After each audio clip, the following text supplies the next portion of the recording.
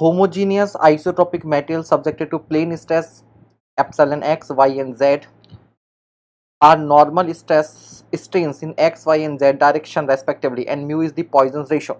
The magnitude of unit volume change of the element is given by तो जो unit volume change होता है इसका मतलब आपसे बात कर रहा है वॉल्यूमेट्रिक स्ट्रेन की और आपको मालूम है वॉल्यूमेट्रिक स्ट्रेन अगर निकालना है तो तीनों डायरेक्शन की स्ट्रेन का आप क्या कर दीजिए ऐड कर दीजिए epsilon x plus epsilon y plus epsilon z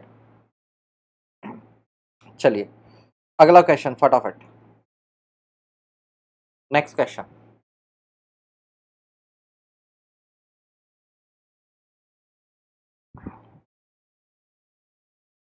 A solid metal bar of uniform diameter d and length l is hung vertically from a ceiling. If the density of the metal of the bar is rho and the modulus of elasticity is e, then the total elongation of bar due to own weight. Self weight की वजह से आपसे elongation यहाँ पर पूछ रहा है तो आपको मालूम है कि एक्सटर्नल लोड की वजह से जो इलोंगेशन होता था, वो होता था W L upon A E self weight की वजह से इसका हो जाता था हाफ़ अब अगर इसी को हम लोग क्या करें एल से डिवाइड कर दें और एल से मल्टीप्लाई कर दें तो half W upon L A बन जाएगा डेंसिटी और ये हो जाएगा rho L square upon E तो rho L square upon two E तो रोना मत आंसर क्या हो जाएगा? बी हो जाएगा। आंसर क्या हो जाएगा? बी हो जाएगा। ठीक है भाई?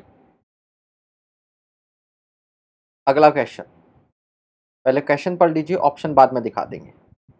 पहले क्वेश्चन पढ़ लीजिए ऑप्शन बाद में दिखा देंगे।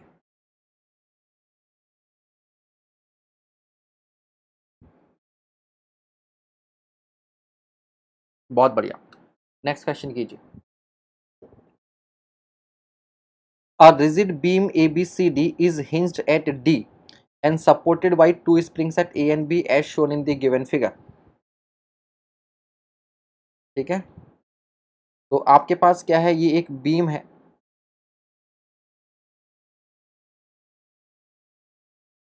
ए बी सी डी एक बीम है। इस पर यहाँ पर एक लोड लग रहा है। तो और ये हिंज है। ये क्या है? यहाँ पर हिंज है। तो ये बार इस पर क्या करेगा? नीचे की ओर रोटेट करने की कोशिश करेगा। तो ये इस पोजीशन में आ सकता है। इस तरह से आ सकता है। जैसे ये यहाँ पर आएगा, ये स्प्रिंग क्या हो जाएँगी? इलोंगेट हो जाएँगी। ठीक है? कोई बात नहीं, दिलीप इधर से भी ठीक है। वो करते रहेंगे बाकी सब्जेक्ट के हिसाब से। इसमें सोम में तो एक ही बात है। ठीक है, चलो देखते हैं। अब देखिए, रिजिड बार है तो रिजिड बार की खासियत क्या होती है कि ये बेंड नहीं करेगा। ये स्ट्रेट है तो स्ट्रेट ही रहेगा। इसकी वजह से स्प्रिंग क्या होंगी? इलोंगेट होंगी। कह रहा the beam carries the beam carries a vertical load P at C the stiffness of spring at A is two K and that of B is K तो इसकी स्टिफनेस जो है वो टू के है और इसकी स्टिफनेस कितनी है के है। आपसे क्या पूछा है? आपसे पूछा है the ratio of forces of spring at A and that of spring at B ठीक है, ये आपसे पूछा ये रहे आपके ऑप्शंस अब आप इसको कर सकते हैं फटाफट। जल्दी से। हाँ भाई अटेंडेंस लगाते रहिएगा अपनी अपनी वेरी गुड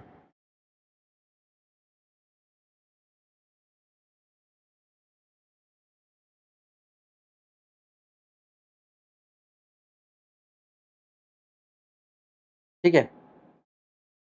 तो हाँ जी। तो देखिए क्या है तो इसकी डिफ्लेक्टेड शेप बनाइए। इसकी क्या करेंगे, डिफ्लेक्टेड शेप बनाएँगे। तो जो डिफ्लेक्टेड शेप होगी वो इस तरह की बनेगी। इस तरह की। अब देखिए मान लेते हैं अगर इसका इलोंगेशन एक्स है और इसका इलोंगेशन क्या है वाई तो हम लोग क्या लिखेंगे? वाई अपॉन थ्री ए बराबर एक्स अपॉन टू ए ठीक है? इस ट्राइंगल में सिमिलर ट्राइंगल का फ़ायदा उठाएँगे वाई है। तो देखिए, ये भी ए है, ये भी ए है और ये भी ए है। तो इस बड़े ट्राइंगल में वाई अपन थ्री ए बराबर, इस छोटो ट्राइंगल में एक्स अपन टू ए होगा। यानी कि यहाँ से वाई बराबर कितना हो जाएगा? Three x three upon two x y क्या हो जाएगा? आपके पास हो जाएगा थ्री अपॉन टू एक्स ठीक है? तो अब देखिए ए स्प्रिंग में जो फोर्स होगा F A upon F B मैं निकालूँगा। तो मैं क्या निकाल निकालूँगा कि इसकी जो स्टिफनेस है वो कितना है? टू के है। तो टू के और इंटू वाई अपॉन इसमें स्टिफनेस कितनी है? के और के इंटू एक्स तो ये रहेगा टू टाइम्स अब वाई अपॉन एक्स की वैल्यू यहाँ से अगर मैं निकालूं, यहाँ से अगर मैं वाई अपॉन एक्स निकालूं तो कितना आ रहा है? थ्री बाई टू तो ये क्या गया? थ्री बाई टू तो आंसर हो गया थ्री तो इन दोनों फोर्सेस का जो रेशो आएगा वो क्या आएगा? थ्री आएगा। कोई ऐसा जिसको समझ में नहीं आया हो। तो रिजिड बॉडी का कॉन्सेप्ट हमने यूज़ किया है तो रिजिड बॉडी की जब भी प्रॉब्लम आए तो हमें क्या करना होगा? ज्योमेट्री को यूज़ करना पड़ेगा। क्या करना पड़ेगा? ज्योमेट्री को यूज़ करना पड़ेगा, ठीक है? Next question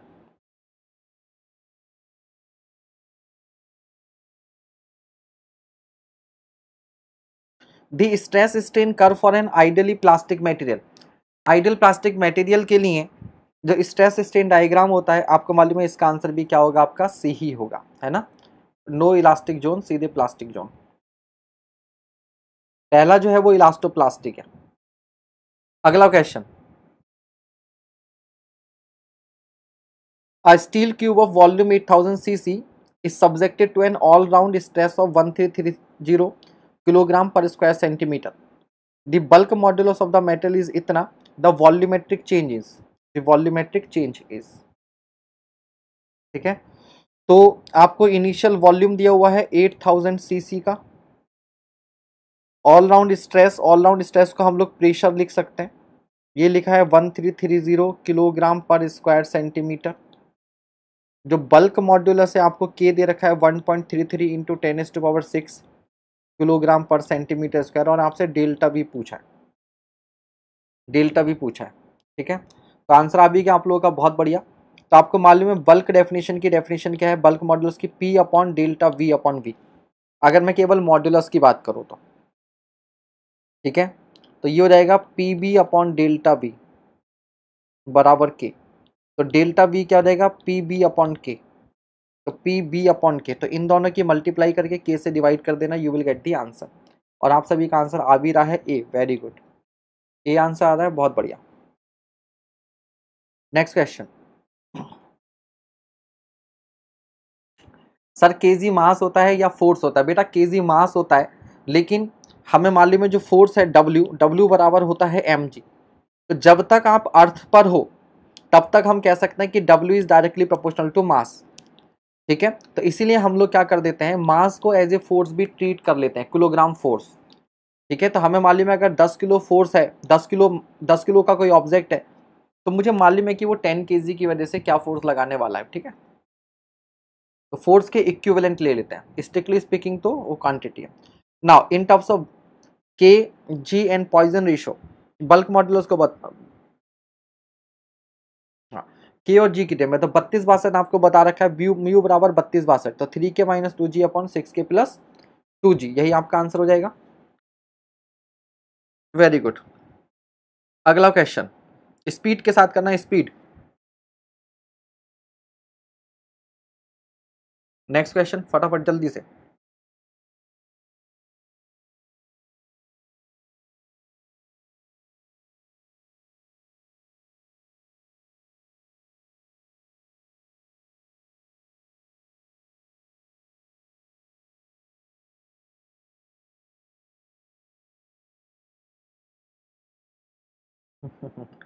चकमा खा गए इस बार, बहुत से बच्चे। Two bars one of metal A and the other of metal B of same length are tightly secured between two unyielding walls दो अनयील्डिंग वॉल्स के बीच में। Coefficient of thermal expansion of bar A is more than that of B when temperature rises the stress inducing याद रखिएगा, दोनों के दोनों बार जो हैं वो यहाँ पर है। तो अभी अभी इंडिपेंडेंट एक्ट करेंगे। ए को बी से मतलब नहीं है बी को ए से मतलब नहीं है। इनको मतलब है इन सपोर्ट से। तो ए और बी दोनों ही एक्सपेंड होना चाहेंगे और सपोर्ट करेंगे औकात में रहो, दोनों का दबा के रहेंगी तो दोनों में क्या आएगा? कंप्रेशन आएगा। Compression in both material compression in both material समझ गए शुभम कुशवाहा जी? हाँ। राइट आपका आंसर जो है कि compression in A and tension in B वो कब होता? जब एक्सटर्नल सपोर्ट्स के बीच में नहीं होती। इनको, इनके आपस में एंड्स बाँध दिए जाते। या बाई मेटेलिक स्ट्रिप होती। इनको यहाँ बीच में इस तरीके से बेल्ट करके जोड़ दिया होता या इनके एंड को कनेक्ट कर दिया होता तब, ठीक है? तो आंसर इज़ डी अगला क्वेश्चन नेक्स्ट क्वेश्चन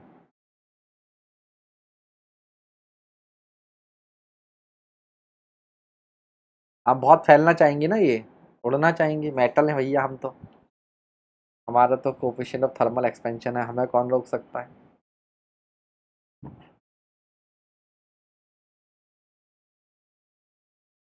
बिल्कुल, मयंक जी, ये भी सही है। ये वाला तो रट लिया। हाँ बिल्कुल, ऐसे सवालों को रट ही लेना चाहिए, ठीक है? डिम्पल जी कह रही हैं, बी, नहीं बालक। देवदास कह रहे हैं, composite, Neha sir, C, Gaurav Yadav, B, Archana, C. ठीक है। क्या क्वेश्चन है आपका? अ कॉलम ऑफ़ हाइट इसी क्वेश्चन का बता रहे हो ना? A column of height H and area at top A has the same strength throughout its length same strength a column of height H and area at top A has the same strength throughout its length same strength throughout its length का मतलब होता है पूरे section में stress constant रहनी चाहिए under its own weight and applied stress P naught at the top. Density of column metal is rho. To satisfy the above condition, the area of the column at the bottom should be. ठीक है? तो ध्यान दीजिए क्या है actual में। अगर आपके पास मान लीजिए ये एक कॉलम है तो इस कॉलम में ऊपर जो स्ट्रेस लग रही है, वो तो पी नॉट लग ही रही है। और साथ ही साथ इसका वेट अपना और लगेगा। तो देखो, अगर मैं यहाँ पर बात करता हूँ तो केवल एक्सटर्नल स्ट्रेस है। अगर मैं यहाँ पर देखता हूँ तो इस पर ये वाला वेट एक्ट करेगा। अगर मैं यहाँ देखता हूँ तो इसके ऊपर का सारा वेट एक्ट करेगा। अगर मैं और नीचे की तरफ़ जाता हूँ तो इस पर इसके ऊपर का सारा वेट एक्ट करेगा। तो सबसे ज़्यादा स्ट्रेस कहाँ लगेगी? बॉटम पर। सबसे ज़्यादा स्ट्रेस कहाँ लगेगी? बॉटम पर। समझ रहे हैं? लेकिन कह रहा है सेम स्ट्रेंथ हो। तो उसके लिए क्या करेंगे? इसको इस तरीके से बनाएँगे। पेड़ होता है ना? इस तरीके से। कि ऊपर एरिया कम रहेगा और जैसे जैसे नीचे जाते जाएँगे एरिया क्या होता जाएगा? बढ़ता जाएगा। ठीक है? तो नीचे की ओर जाने पर, नीचे की ओर जाने पर क्योंकि टोटल वेट बढ़ रहा है वेट बढ़ रहा है तो ठीक है एरिया बढ़ाना पड़ेगा ताकि स्ट्रेस क्या हो जाए कांस्टेंट हो जाए। अब इस सवाल को अगर हम सब्जेक्टिव की तरफ़ से करेंगे तो बहुत लेंथी हो जाएगा तो हमें ऑब्जेक्टिव की तरह करना होगा। तो पहली बात तो ये समझ लीजिए कि जो ई e है एक्सपोनेंशियल इसकी पावर क्या होनी चाहिए? डायमेंशन पावर क्या होना चाहिए? डायमेंशन अब देखिए प्रेशर बराबर होता है रो जी एच ये सबने पढ़ा हुआ है। बोल कहना हो जाएगा। ठीक है डायमेंशन लेस तो ये डायमेंशन लेस नहीं है, हटा दो। It is not dimensionless ये भी डायमेंशन लेस नहीं है, हटा दो। अब बचे आपके पास एक ऑप्शन सी और एक ऑप्शन बी अब आप मुझे बताओ ई e की वैल्यू एक से बड़ी होती है तो किसी नंबर को जब एक से बड़ी वैल्यू से मल्टीप्लाई करते हैं, तभी क्या होता है? वो वैल्यू इंक्रीज करेगी। तो बॉटम में एरिया क्या होना चाहिए? बढ़ना चाहिए। तो ई e की पावर कैसी होनी चाहिए? पॉजिटिव ई e की पावर कैसी होनी चाहिए? पॉजिटिव होनी चाहिए, ना कि ई की पावर निगेटिव तो बी भी खत्म हो गया। आंसर क्या हो गया? आपका सी हो गया। ठीक है भाई? तो इस तरीके से आप क्या कर लेंगे? इस क्वेश्चन को कर लेंगे। अदरवाइज़ सोल्यूशन मैंने साथ में लगा दिया पीडीएफ मिलेगी तो इसका सोल्यूशन पढ़ लेना। ठीक है? करना चाहो तो। चलिए, अगला क्वेश्चन अगला क्वेश्चन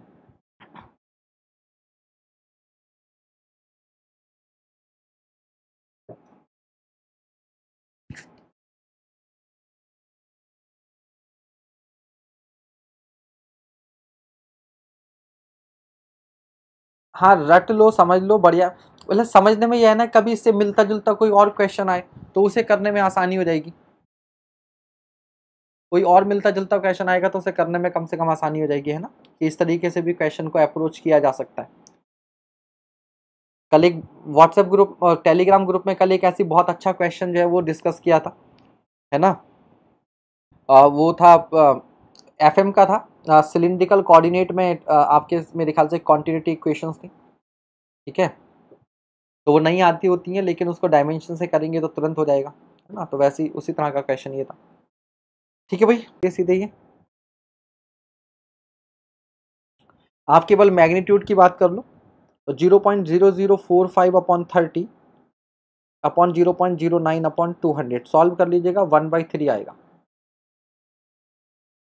बफरिंग बफरिंग सफरिंग हो रही है क्या?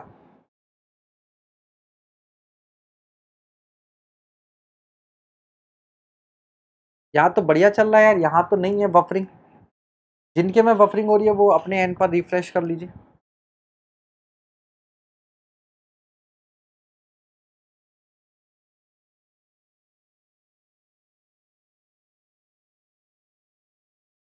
नेक्स्ट क्वेश्चन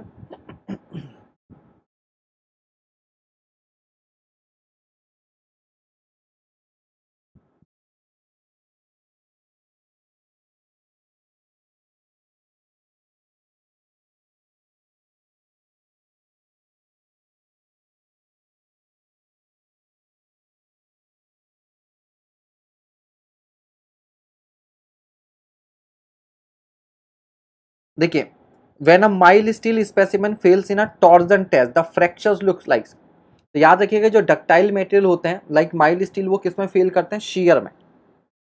वो किसमें फेल करते हैं? शीयर में फेल करते हैं, ठीक है? और जो शेयर स्ट्रेस जनरेट होती है, वो कहाँ होती है? क्रॉस सेक्शन पर होती है। और क्रॉस सेक्शन क्या होता है? एक्सिस के परपेंडिकुलर होता है, ठीक है? तो इसका आंसर क्या होगा आपका? ए होगा। आंसर क्या होगा? ए होगा। ठीक है? डी आंसर होता है आपका बीटल मेटल जैसे चौक है ना, चौक को आप रोटेट करके तोड़ो। चौक के दोनों टुकड़ों पर आप आप ये चौक का पीस है, मान लीजिए एक। और इस पर आप ट्विस्टिंग मोमेंट लगाओ तो ये आपका इस तरीके से ब्रेक करेगा। क्योंकि ये ब्रेक करता है टेंशन में। तो टेंशन कहाँ पर आती है? 45 डिग्री पर एक्सेस से 45 डिग्री पर, ठीक है? टॉर्जन में। डायरेक्ट टेंशन होता तो उल्टा हो जाता। Next question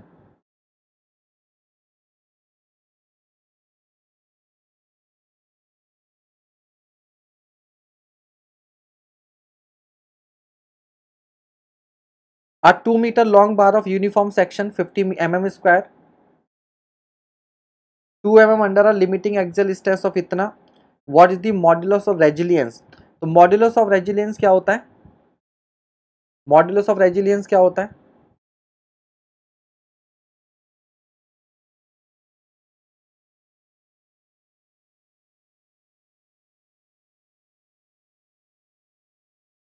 half into stress into strain कर देंगे आप लोग।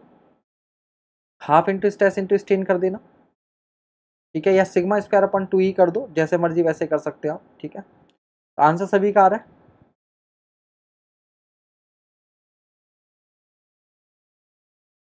ठीक है sigma square upon two he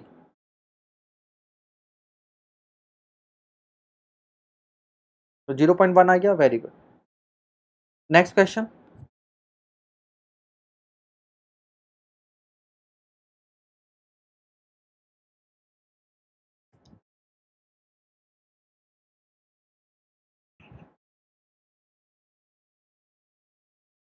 the stress level below which a metal has a high probability not failing under reversal of stress answer क्या हो जाएगा? एंडोरेंस लिमिट आंसर क्या हो जाएगा? एंडोरेंस लिमिट अगला सवाल.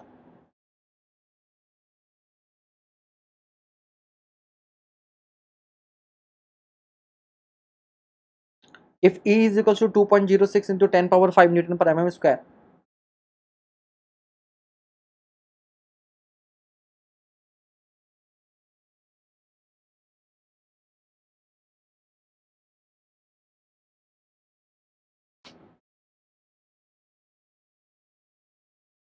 an axial pull of 60 kilonewton suddenly applied to a steel rod suddenly apply load in diameter and 4 meter long causes an instantaneous elongation of the order of ठीक है तो आपको मालूम है कि जो ग्रेजुअली अप्लाइड लोड होता है ग्रेजुअली अप्लाइड लोड की वजह से जो इलांगेशन होता है वो पी एल अपॉन ए ही होता है तो सडनली अप्लाइड की वजह से क्या होता है उसका डबल होता है सडनली अप्लाइड की वजह से क्या होता है? डबल होता है। फॉर्मूला लगाओ आंसर पाओ।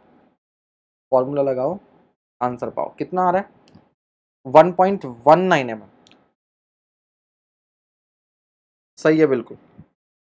ऑप्शन नंबर ए बिल्कुल सही जवाब। बहुत बढ़िया। अगला question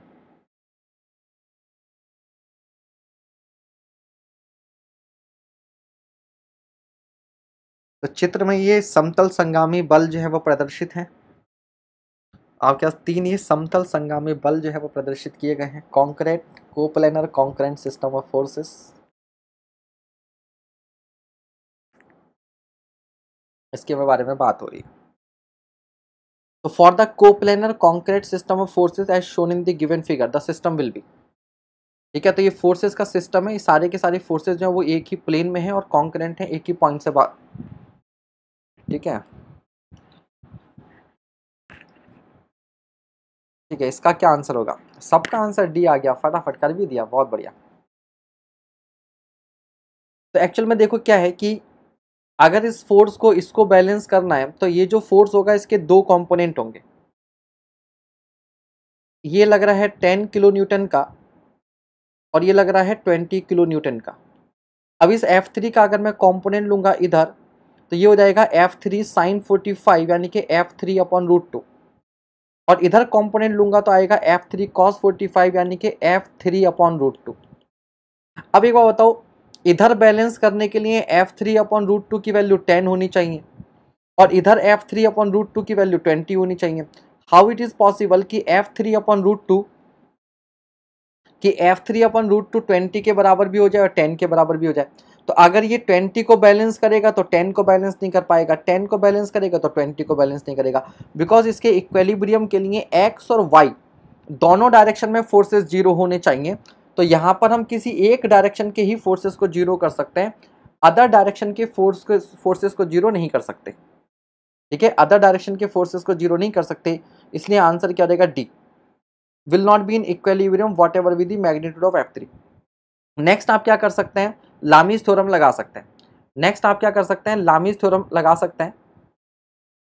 possible in parallel universe ठीक है, दूसरा क्या कर सकते हैं? आप लामीज थ्योरम लगा सकते हो कि अगर ये इक्वेलिब्रियम है तो लामीज थ्योरम एप्लीकेबल होनी चाहिए।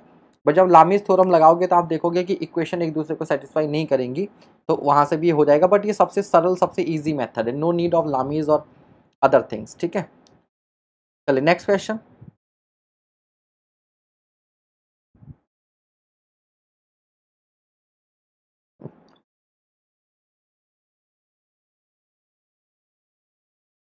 और शशांक भैया समय फिरकी लेते हुए। चलिए, अगला question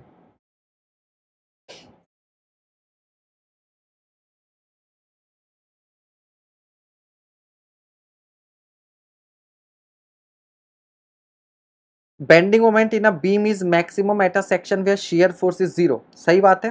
Because shear force at a section is given by the rate of change of bending moment with respect to X लेकिन। दोनों सही हैं और सही एक्सप्लेनेशन है तो आंसर क्या हो जाएगा? ए हो जाएगा। अगला सवाल। Next question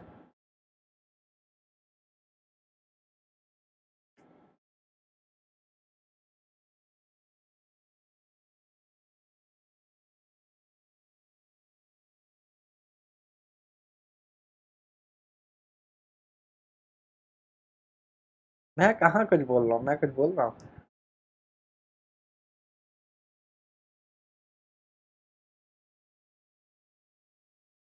Two coplanar concurrent forces P one बराबर two T and P two बराबर two T. Meeting at O. Act on a lamina at forty five degree as shown in the figure. तो इसको देख लो, बस diagram को बाकी कुछ देखने की ज़रूरत नहीं। ये रहा डायग्राम आपके पास। तो इस डायग्राम में ये फोर्स लग रहा है टू टी का और ये लग रहा है ये भी टू टी का है। अब यहाँ पर ये जो फोर्स लग रहा है वो इस डायरेक्शन में है और ये फोर्स इस डायरेक्शन में ये फोर्स इस ओ पॉइंट को नीचे की ओर पुश कर रहा है और इसको राइट में खींच रहा है। ठीक है? From the force diagram the force are to be applied at O in order to keep the body in equilibrium तो इस सिस्टम आपका क्या रहना चाहिए? इक्वेलिब्रियम में रहना चाहिए। टूटी फूटी ठीक है, चलो। तो क्या सही होगा इसमें? चार ऑप्शन आपके सामने।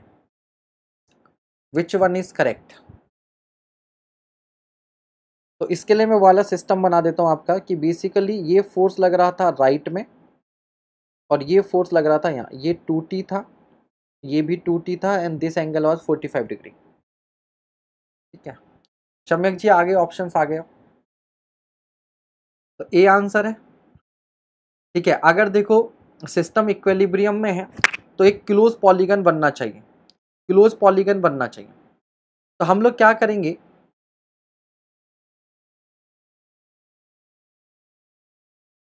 ये एक फोर्स ऐसे था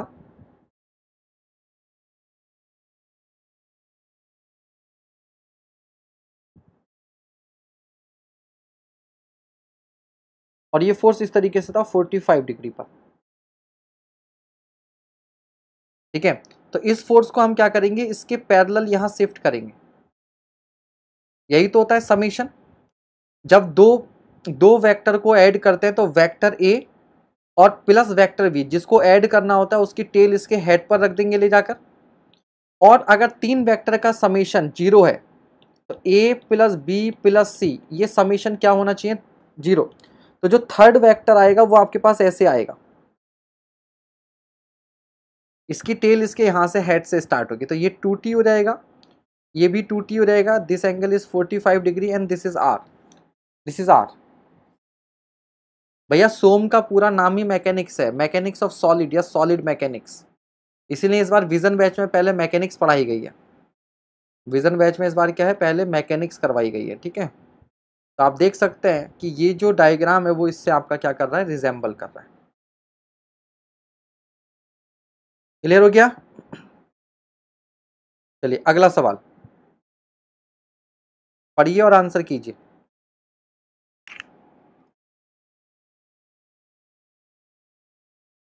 नमस्कार ब्रजेश जी।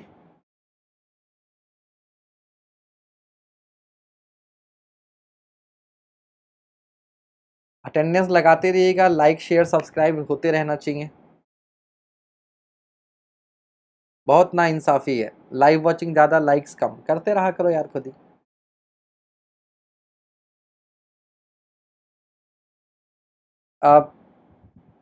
मैं लाइक्स को नहीं बोलता था, लेकिन कल कुछ ऐसा हुआ कि मुझे लगा बोलना चाहिए। एक्चुअली मेरे टीचर हैं जिनसे मैंने मेडिटेशन सीखा। कल मैं उनकी एक वीडियो देख रहा था। अब अब क्योंकि मतलब मैं उनको बहुत ज़्यादा फॉलो करता हूँ तो मैंने उनका वो वीडियो देखा और मतलब मैं देखता रहा, क्योंकि, है ना? और वास्तव में जब वीडियो ख़त्म हो गई तो उन्होंने जब बोला कि हाँ लाइक शेयर सब्सक्राइब कर दीजिएगा तो मुझे लगा यार लाइक हाँ लाइक करना है। मतलब वास्तव में भूल जाते हैं। कभी कभी हम लोग कंटेंट देख रहे होते हैं कंटेंट में इतना खो जाते हैं कि नहीं याद रहता है। तो अब यह है कि मैं भी भूल दिया करूँगा। ठीक है? हाँ तो ये लाइक वाइक करते रहा करना। और लाइक से ज़्यादा आजकल आपके शेयर करने की ज़रूरत है, क्योंकि आपको मालूम है बाकी जो भी बड्डे बड्डे चैनल से भैया, वो कितना एडवर्टाइजमेंट करते हैं ना, अपन का एडवर्टाइजमेंट तो है नहीं तो जो हो आप ही लोग आप लोग जितना ज़्यादा शेयर करोगे, बाकी स्टूडेंट्स तक ये लेक्चर्स पहुँचेंगे, है ना? उतने ही ज़्यादा स्टूडेंट्स जुड़ेंगे तो आप लोग शेयर करते रहिएगा, ठीक है? No buffering at all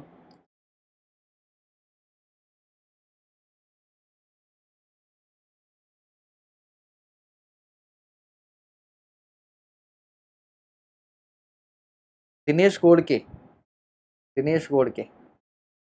मैं शेयर करूँगा? अच्छा। चलिए नेक्स्ट है आपका।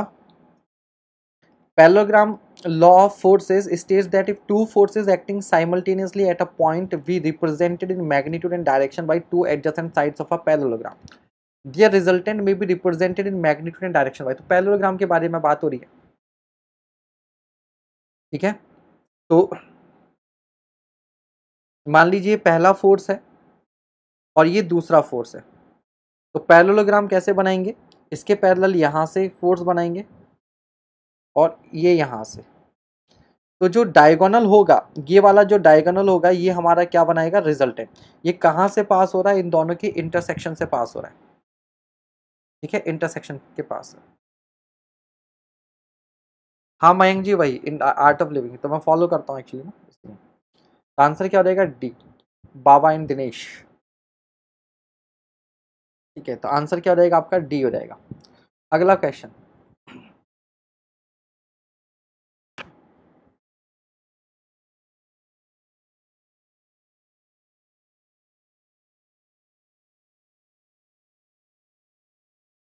आदित्य डांगी जी कंपटीशन बढ़ाएँगे नहीं, आपको कंपटीशन के लिए तैयार करेंगे। चलिए, अगला क्वेश्चन कीजिए। पहले क्वेश्चन देख रहे match list one type and position of load on cantilever with list two shape of BMD of cantilever and select the correct answer चलिए भैया। तो ये टेबल है आपके पास। तो पहले मैच कर लीजिए। पहले अबे ऑप्शन अबे, सवाल तो आया नहीं ऑप्शन पहले पूछ रहे हो। सवाल ही नहीं आया ऑप्शन तो देख लो पहले।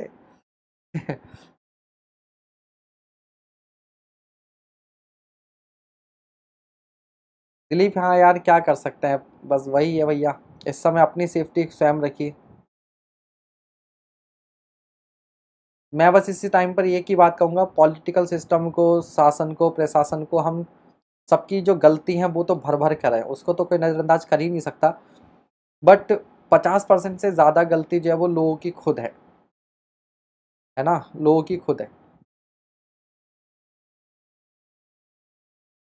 अभी भी आप निकल जाओ बाहर, ठीक है? आप देखना, लोग सड़कों पर ऐसे हैं कि बिल्कुल बहुत नहीं ले रहे प्रिकॉशन इतना कुछ होने के बाद भी चारों तरफ़ डेथ्स हो रही हैं। इतनी बुरी हालत है। व्हाट्सएप ग्रुप में आप देखते होंगे ऑक्सीजन की, दवाइयों की, इसकी मारा मारी चल रही है बट तब भी लोग नहीं सुधर रहे तो क्या करो? चलिए तो इसको करते हैं हम लोग फटाफट। तो आंसर आपका आ गया। तो पहला carrying linearly varying load from zero तो यूवीएल के लिए क्या होता है? क्यूबिक पैराबोला तो इसका तीन हो जाएगा। सब्जेक्टेड टू यूनिफॉर्मली यूडीएल के लिए पैराबोला तो वन हो जाएगा। Carrying concentrated load at its free end तो उसके लिए ट्राइंगल हो जाएगा। और free end subjected to bending moment तो रेक्टेंगल हो जाएगा। तो तीन एक चार दो। तीन एक चार दो, तीन एक चार दो। तो आंसर क्या हो जाएगा? सी हो जाएगा। आंसर क्या हो जाएगा आपका? सी हो जाएगा।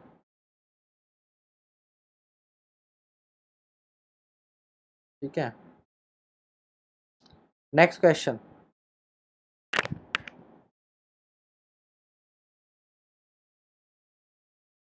जगन्नाथ जी, बात एजुकेटेड अनएजुकेटेड की नहीं है। भैया, जो पढ़े लिखे हैं एजुकेटेड हैं, वो भी कम नहीं है। शहर में बताओ, आजकल कौन बच्चा नहीं पढ़ रहा? सब पढ़े हुए हैं। बल्कि मैं तो कहूँगा, गाँव के लोग ज़्यादा समझदार हैं। पहले जो हमारे हाथ में वो तो करें हम। आज ये ख़राब न्यूज़ मिली कि हमारी ही एक स्टूडेंट है मुरादाबाद की, ठीक है? और उनके फादर नहीं रहे, इस वजह से थोड़ा सा और ये बात चल रही। ठीक है, इसलिए। चलिए नेक्स्ट क्वेश्चन कीजिए। The bending moment diagram of the beam shown in the figure is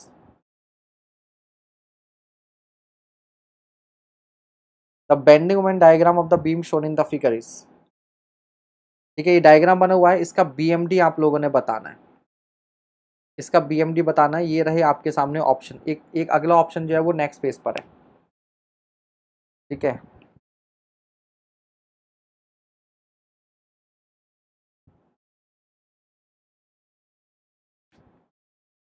हाँ मेघा जी। हाँ मेघा जी के पापा जी नहीं रहे। तीन दिन से परेशान थे वो लोग।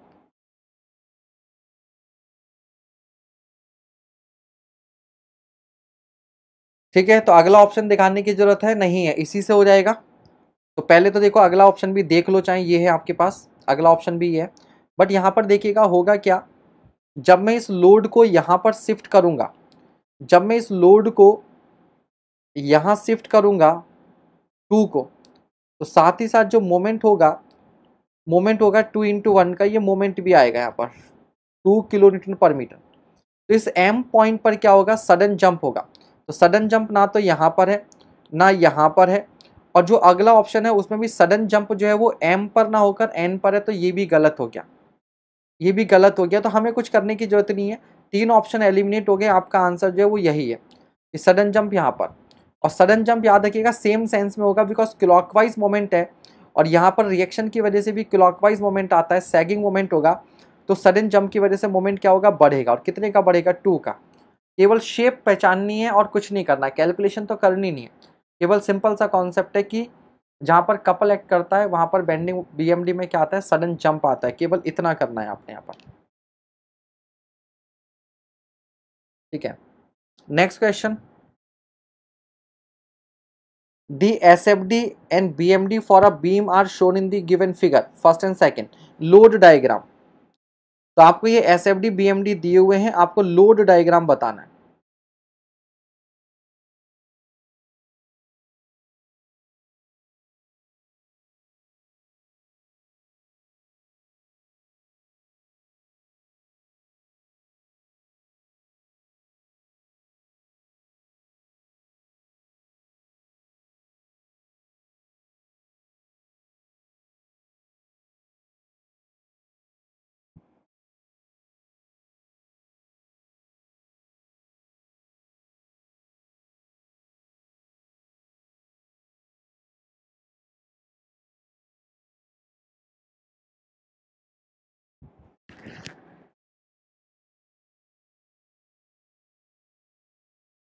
ठीक है, क्या आंसर होगा इसका?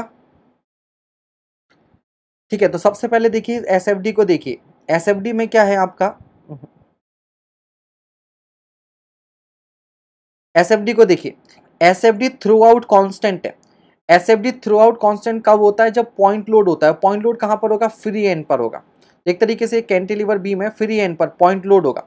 तो ये भी खत्म हो गया। ये भी खत्म हो गया। अब ये बचा और ये बचा। अब यहाँ पर देखिएगा, यहाँ से मोमेंट बेंडिंग मोमेंट निगेटिव का बढ़ रहा है और उसी सेंस में सडन जंप हुआ। तो सडन जंप क्या होगा? सेम सेंस में होना चाहिए। तो अगर मेरे पास कैंटिलीवर बीम ये है तो राइट हैंड से मोमेंट क्या होना चाहिए? क्लॉकवाइज क्लॉकवाइज होगा तभी जंप करेगा। तो जो सी ऑप्शन है, उसी में देखो इस वन की वजह से भी मोमेंट क्या आ रहा है? क्लॉकवाइज और ये जो कपल लगा हुआ है ये भी क्या लगा हुआ है? सेम सेंस में लगा हुआ है। तो आंसर क्या होगा? सी होगा। ठीक है? आंसर क्या होगा? सी होगा।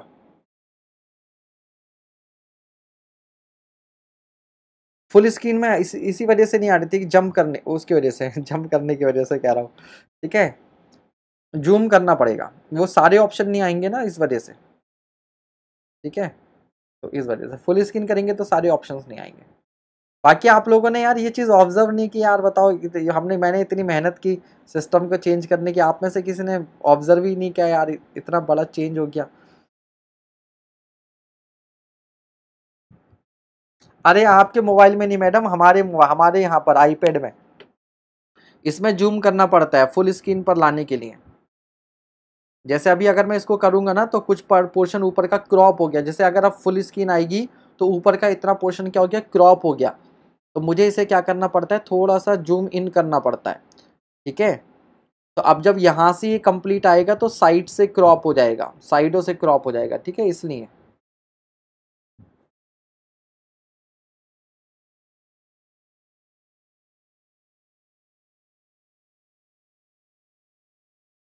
ठीक है। अगला question a simply supported beam is loaded as shown in the given figure the bending moment at E would be E पर बेंडिंग मोमेंट पूछा है आपसे। ई पर बेंडिंग मोमेंट पूछा है। तो ध्यान दीजिएगा, इस टू और इस टू की वजह से रिएक्शन आएगी नहीं कैंसिल आउट हो जाएगी। तो यहाँ पर जो रिएक्शन आएगी, इस टू और टू की वजह से रिएक्शन टू आएगी और इस फोर की आधी रिएक्शन टू तो यहाँ पर रिएक्शन कितनी आएगी? चार आएगी। डायरेक्टली आपने रिएक्शन निकाल ली। अब रिएक्शन की वजह से जब मैं यहाँ ई e पर मोमेंट लिखूँगा तो फोर इंटू टू इस फोर की वजह से यहाँ पर four into two clockwise minus ये वाला टू एंटी क्लॉक वाइज और माइनस का this two into one, two minus का टू। तो आठ में से चार गया, चार आएगा और वो कैसा आएगा? सेगिंग आएगा।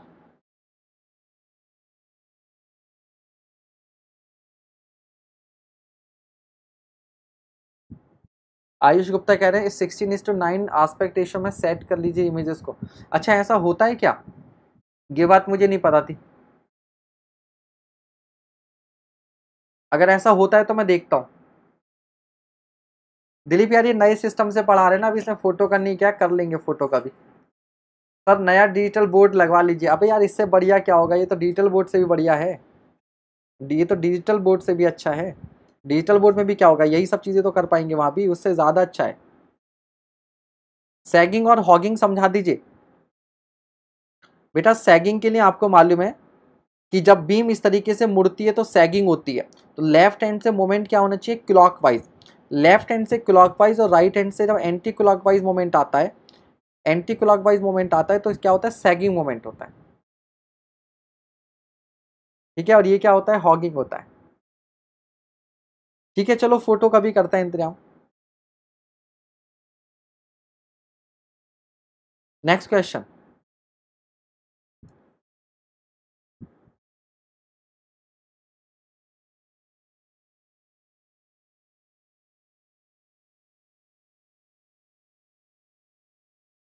हालाँकि इसके लिए भी बहुत खर्चा करना पड़ा है। ठीक है, आयुष, में देखता हूँ, है ना, इसको।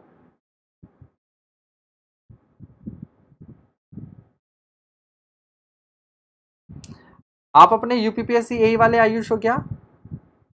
आयुष गुप्ता, आप अपने यूपीपीएससी ए वाले आयुष हो?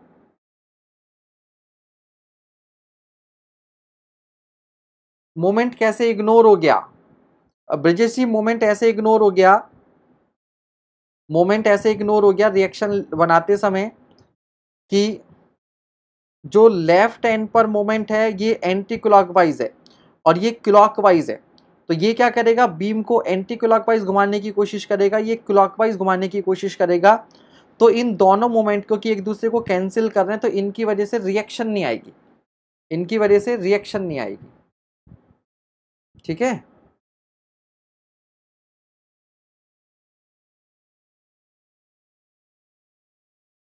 बहुत समय के बाद मारियो बालक एंट्री लेते हुए, नमस्ते। चलिए, अगले क्वेश्चन पे जाते हैं हम लोग।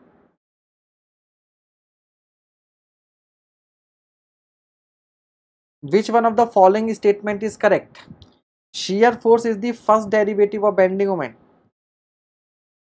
ठीक है? Shear force is the first derivative of intensity of load तो पहला सही है। Shear force is the first derivative of bending moment तो पहला तो सही है ही है। ए हो गया, बाकी देख लेते हैं। अब चार में से कोई एक ही चुनना था तो वही आंसर हो गया। चार में से एक ही चुनना था तो वही आंसर हो गया हमारा। है ना? ठीक है। बाकी तो सब गलत ही होगा। नेक्स्ट क्वेश्चन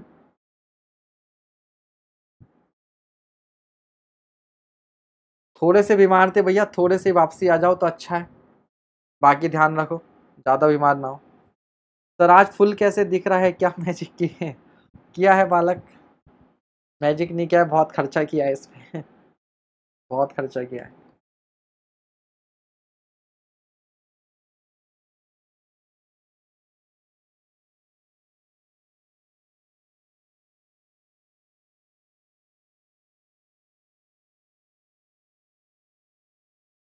समझ लिया आपको देखो, अब अब बैकग्राउंड में नॉइज़ भी नहीं आ रहा होगा, आपको जो पहले बैकग्राउंड में नॉइज़ आता था, वो भी नहीं आ रहा होगा स्क्रीन भी बड़ी दिख रही है, ठीक है?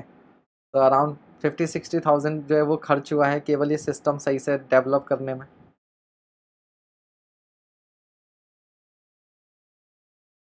पहले S S C G mains की क्लास रोज़ शाम में ख़राब हो जाती थी, ठीक है? सिस्टम वर्क नहीं करता था, वो भी।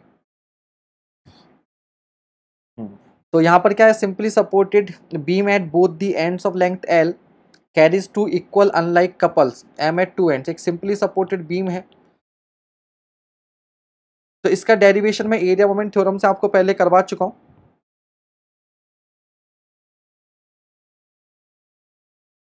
ठीक है? तो आंसर इसका क्या होगा? M L square upon A T I message गाने नहीं सुनाई देंगे।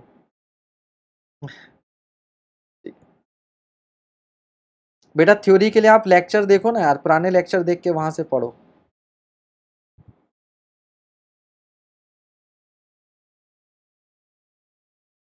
शादी बहुत होती है सर की बस भैया, बस बस पढ़ लिए।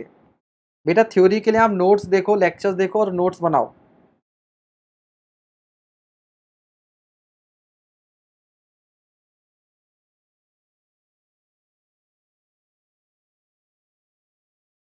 कोई बात नहीं रिपुंजय जी, हमें अपना लेवल ही तो बढ़ाना है। लेवल बढ़ाने के लिए तो सब हो रहा है। धीरे धीरे लेवल बढ़ेगा।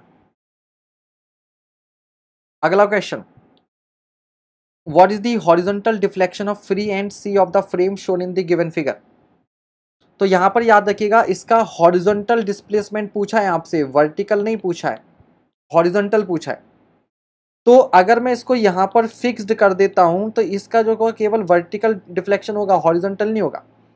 हॉरिजॉन्टल किस वजह से होगा कि अगर इस मोमेंट को यहाँ शिफ्ट कर दिया जाए तो ये इस तरीके से जाएगा। तो ये वाला जो पोर्शन है, जितना बी पॉइंट राइट में जाएगा, उतना ही एम राइट में जाएगा। ठीक है? तो अब इस वाले को देखो तो बेसिकली इसको हटा दो और ये मोमेंट एज इट इज़ यहाँ पे लगा दें अगर हम।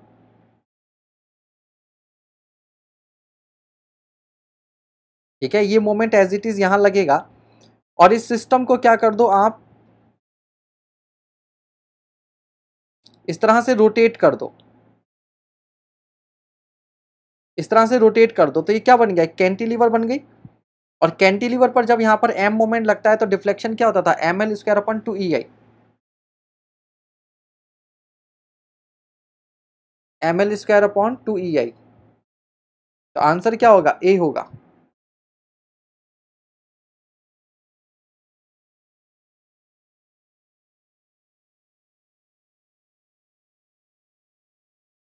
इतने ज़्यादा इस गोल करेंगे तो कहीं हिट विकेट ना हो जाए भैया। ये भी देख लेना। चलिए, अगला क्वेश्चन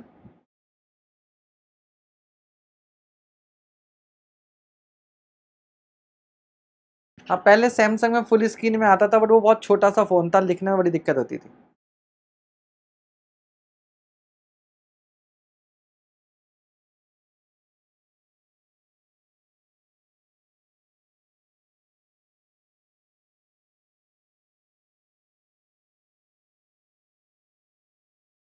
नहीं ब्लॉक तो नहीं करूँगा, ये आज ही सनक गया है, पता नहीं क्यों।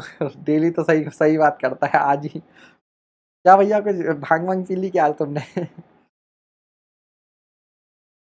बाद में पूछ लियो बालक, आराम से। चलिए, अगला सवाल। The cross section of a bar is subjected to a uniaxial tensile stress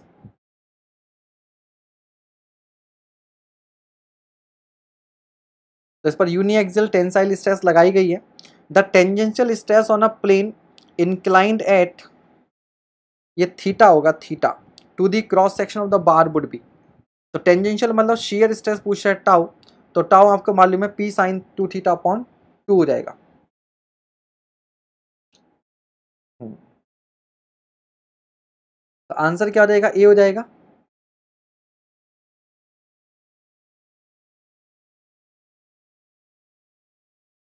पूरा डेरिवेशन करवाया हुआ है इसको आपको।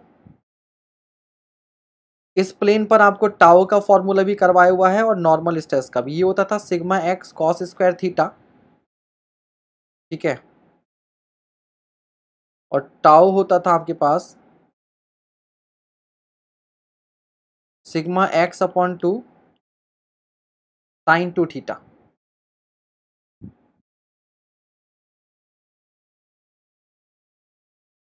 ठीक है। थ्योरी देखिए बेटा थ्योरी से सारे डाउट्स दूर हो जाएँगे। Next question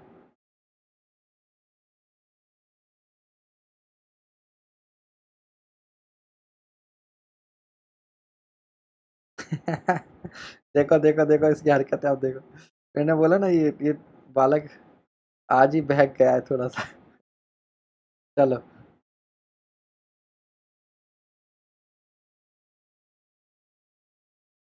consider the following statements इन स्टेटमेंट्स को पढ़िए.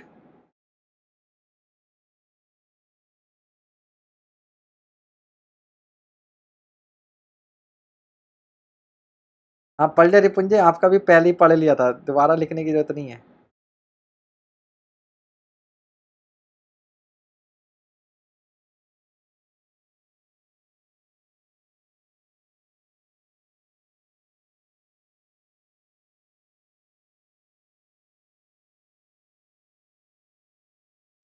चलो चलो, इतना मज़ाक मत बनाओ। गलत बात है। On planes having maximum and minimum principal stresses there will be no tangential stress सही बात है। Shear stresses on mutually perpendicular planes are numerically equal सही बात है। Maximum shear stress is equal to half the sum of the ना ना सम ना difference होता है। तीसरा गलत है। और जैसे ही तीसरा गलत हुआ, तीन ऑप्शन एलिमिनेट हो गए।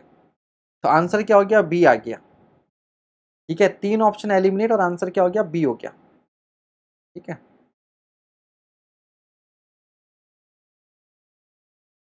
Next question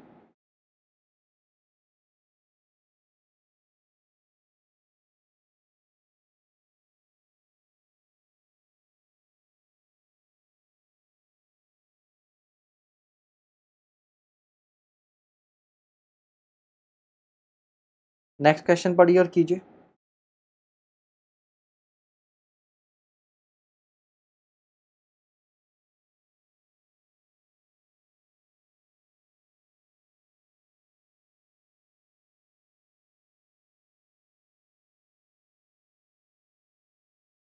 In a stressed body, an elementary cube of material is taken at a point with its faces perpendicular to x and y reference axis. Okay. tensile stress is equal to 15 and 19 kilonewton per centimeter square are observed on these respective faces they are also accompanied by shear stress is equal to 4 kilonewton per centimeter square the magnitude of the principal stresses तो आपको basically sigma x दे रखा है, sigma y दे रखा है tau x y दे रखा है। और आपसे प्रिंसिपल स्ट्रेसेस पूछी हैं। तो सिंपल सा है, sigma one oblique sigma two बराबर होता है sigma average plus minus R. Sigma average plus minus R. तो sigma x plus sigma y by two plus minus under root में रेडियस क्या होती थी मोर सर्किल की, sigma x minus sigma y by two का whole square plus tau x y का square ठीक है, एक तरीका तो ये दूसरा तरीका क्या है, ऐसे कैलकुलेट करना पड़ेगा, एक तुक्का लग सकता है यहाँ पर। तुक्का ये लग सकता है कि ये 15 प्लस नाइन कितना है ट्वेंटी फोर तो इनका समीशन ट्वेंटी फोर आना चाहिए। इनका समीशन ट्वेंटी फोर आना चाहिए। तो यह ट्वेल्व प्लस थ्री नहीं है। सेवनटीन और सेवन ठीक है? ये ट्वेंटी फोर हो सकता है। और ये भी आपके पास क्या है? ट्वेंटी फोर नहीं है। और ये भी आपके पास क्या है? ट्वेंटी फोर नहीं है। तो आंसर क्या हो जाएगा? बी हो जाएगा। ठीक है? बिना सॉल्व किए आप इसका आंसर दे सकते हो। क्यों? क्योंकि देखो, जब मैं इन दोनों को ऐड करूँगा sigma one plus sigma two करूँगा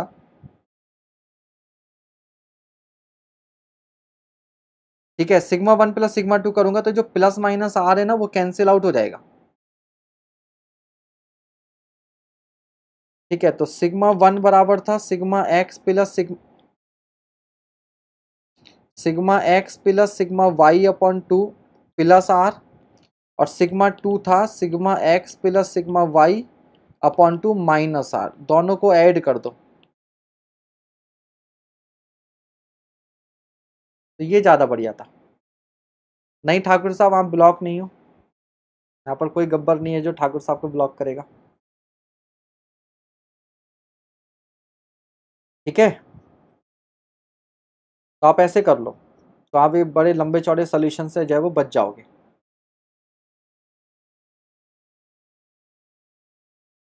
चलिए, आगे बढ़ते हैं इसी के साथ। धन्यवाद धन्यवाद धन्यवाद। थैंक यू चलिए नेक्स्ट क्वेश्चन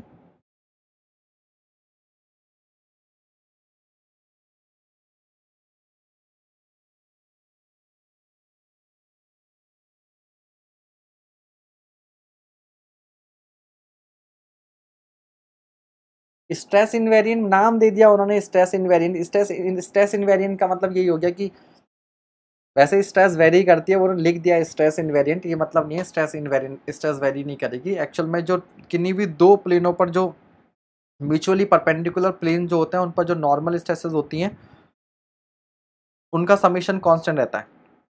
किन्हीं भी दो म्यूचुअली परपेंडिकुलर प्लेन्स पर नॉर्मल स्ट्रेसेस का समीशन क्या रहता है? कांस्टेंट रहता है।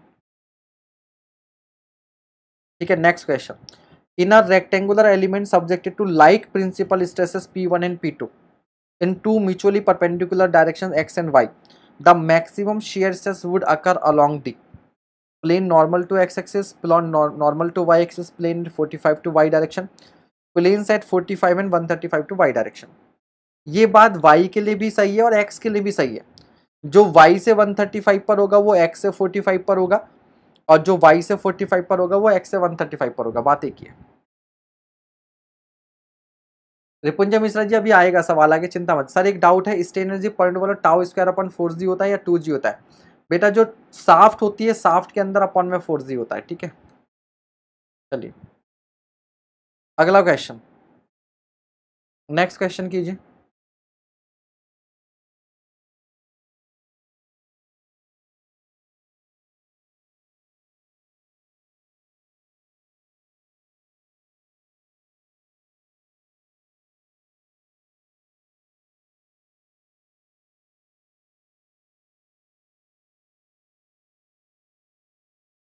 At a point in a structure, there are two mutually perpendicular tensile stresses of 800 and 400 kg per centimeter square. Okay. If the Poisson's ratio is itna, what would be the equivalent stress in simple tension according to maximum principal strain theory?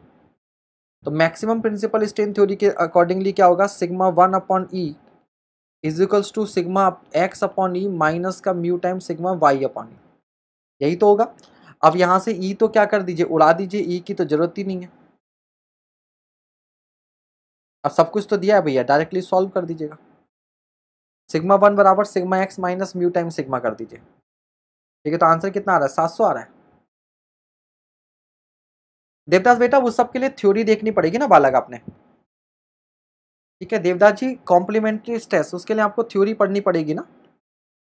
ठीक है तो आपने देखा होगा कि यहाँ पर अगर शेयर स्ट्रेसेस इस तरीके से है, मान लीजिए यहाँ पर शेयर स्ट्रेसेस इस तरीके से है तो ये क्या करेंगे? सिस्टम को एंटी क्लॉकवाइज रोटेट करने की कोशिश करेंगे। तो इसके रोटेशन को रोकने के लिए यहाँ पर इस तरीके से स्ट्रेसेस आ जाएँगी, जो इसको क्या करेंगी? क्लॉकवाइज रोटेट करेंगी। तो ये जो स्ट्रेस हैं, ये कॉम्प्लीमेंट्री शेयर स्ट्रेस हैं इसके। तो अगर ये वाला प्लेन मेरे पास एक्स है तो ये जो स्ट्रेस होती है, इसको बोलते हैं टाओ एक्स वाई तो ये जो स्ट्रेस होगी, वो होगी टाउ वाई एक्स तो टाउ एक्स वाई की जो कॉम्प्लीमेंट्री होगी, वो टाउ वाई एक्स होगी। तो उसके लिए आप क्या करो, सोम के लेक्चर्स देखो तो सीख जाओगे। बाकी आपने पता नहीं विजन बैच ज्वाइन कर रखा है या नहीं कर रखा। नहीं तो विजन बैच में कल ही सोम स्टार्ट हुआ है। आप विजन बैच ज्वाइन कर सकते हैं। जो लोग बिल्कुल ज़ीरो से पढ़ना चाहें, जिनके बेसिक्स कमज़ोर हैं विजन बैच ज्वाइन कर सकते हैं। कल ही सोम उसमें जस्ट स्टार्ट ही हुआ है। वन ईयर कोर्स है फ़ी केवल थ्री थाउज़ेंड रुपीज़ है उसकी।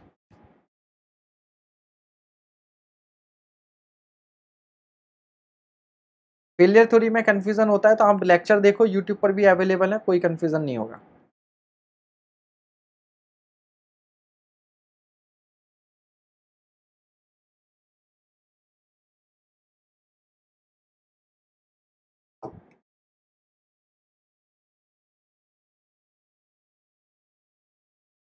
According to maximum shear stress failure criteria yielding in material occurs when ठीक है? तो याद रखिएगा टाउ मैक्स जो होता था, वो हम क्या लिखेंगे? Sigma one minus sigma two upon two is equals to right में लिखेंगे F Y minus zero upon two जब मैंने थ्योरी पढ़ाई थी तो याद रखिएगा, इस तरीके से बताया था आपको।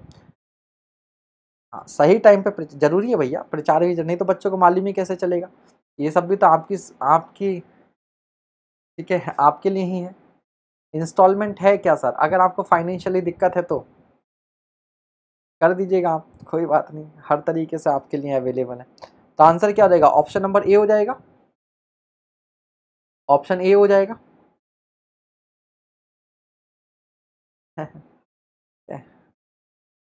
कॉन्टेक्ट नंबर ये भैया जिसको बात करनी है seven four zero double nine seven zero seven five eight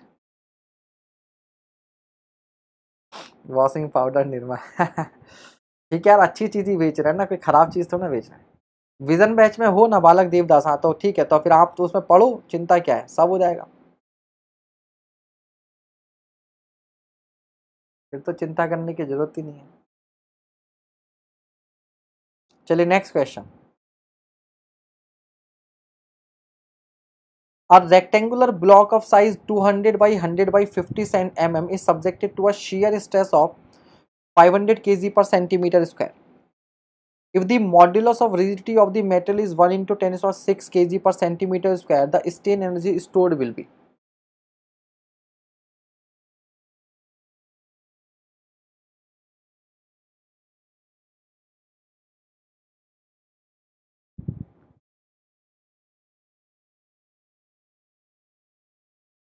Manish Chaurasia ji, कौन सा वाला लास्ट क्वेश्चन बालक?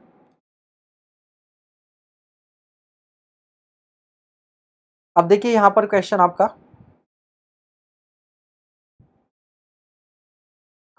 अब यहाँ पर ये साफ्ट नहीं है, याद रखिएगा।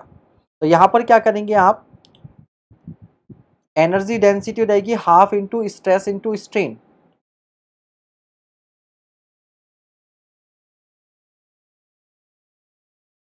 ठीक है तो half into tau into tau कर दीजिएगा तो यहाँ से आ जाएगा tau square upon two G अब कोई पूछे तभी थोड़ी देर पहले कि सर यहाँ पर tau square upon two G लगाएँ, या ये लगाएँ tau max square upon four G लगाएँ। तो याद रखिएगा, ये वाला जो फॉर्मूला होता था, ये होता था साफ्ट के लिए। ये किसके लिए था? साफ्ट के लिए, जहाँ पे टॉर्क लग रहा है। टॉर्क लग रहा है। जबकि यहाँ पर एक रेक्टेंगुलर ब्लॉक है। चलो, अभी देखता हूँ उसको मनीष।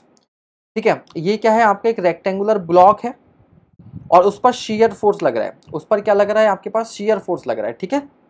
डायरेक्ट ये। अब मान लो अगर आप ये वाला फॉर्मूला यहाँ लगाना चाहो तो ये क्या होगा फर्दर हाफ़ होगा।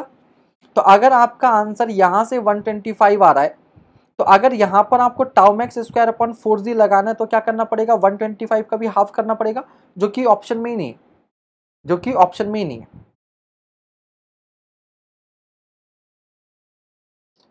The strain energy stored will भी टोटल पूछा है वॉल्यूम से मल्टीप्लाई कर दीजिएगा। अभी तो मैं आपको एनर्जी डेंसिटी का फॉर्मुला लिखा है। बाकी यूनिट देख लो टोटल एनर्जी पूछे तो वॉल्यूम से क्या कर दीजिएगा मल्टीप्लाई कर दीजिएगा। वॉल्यूम से क्या कर दीजिएगा मल्टीप्लाई कर दीजिएगा, ठीक है?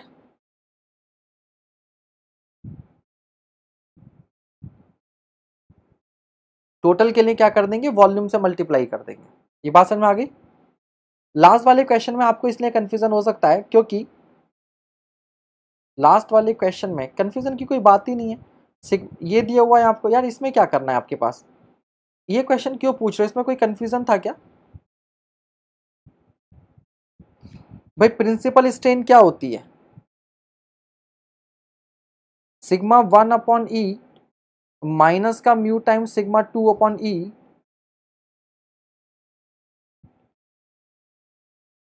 minus का म्यू टाइम या sigma x sigma x upon E minus का mu time sigma y upon E minus का mu time sigma z upon E अब हमें इन तीनों की इक्विवेलेंट पूछा है। तो वो क्या लिख देंगे हम लोग? सिग्मा वन अपॉन ई लिख देंगे मान लो। अब सिग्मा जेड तो यहाँ पर है नहीं तो इसको हटा दो। ये ई ई ई सब में से गायब कर दो। अब सिग्मा एक्स कितना दे रखा है? तुमको 800 800 लिख दो। ये कितना दे रखा है? सिग्मा वाई 400 लिख दो। Poisson ratio point two five दे रखा है, यानी कि इसका वन फोर कर दो। वन फोर्थ इसका सौ हो जाएगा, आठ सौ में से सौ चला गया, सात सौ आ गया। सात सौ आ गया, है ना? तो ये तो बिना सॉल्व किए ही हो गया ओरल क्वेश्चन था। ठीक है बालक? बेटा, समय हमारा नौ बजे तक का है तो नौ बजे तक चलेंगे। नौ बजे तक क्लास चलेगी। मज़ा नहीं आ रहा क्या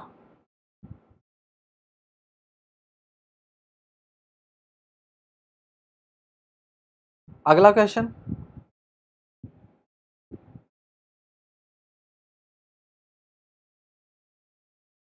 A shaft is subjected to a bending moment M and a torque T. The equivalent bending moment M EQ on the shaft will be answer D हो जाएगा half of M plus under root में M square plus T square अगला question कीजिए।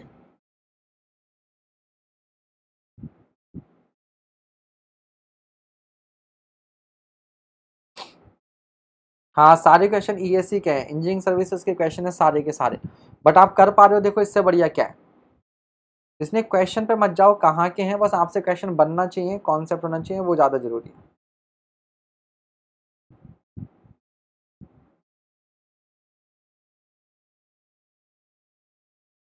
A steel wire of 20 mm diameter is bent into a circular shape of 10 meter radius.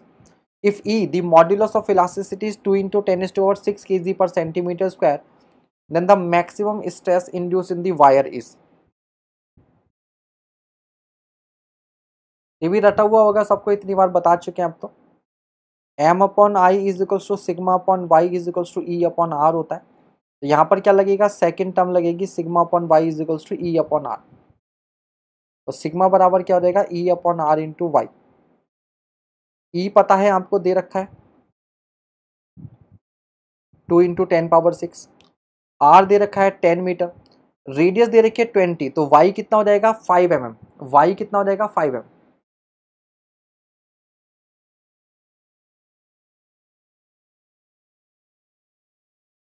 ठीक है तो answer क्या हो जाएगा आपके पास? बी हो जाएगा।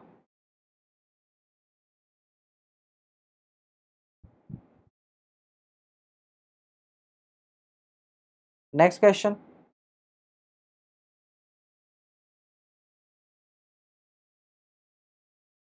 कोई बात नहीं सॉल्व किया तो अच्छी बात है, यहाँ पर तुरंत रिवाइज हो रहेगा कम टाइम में करने की कोशिश करो।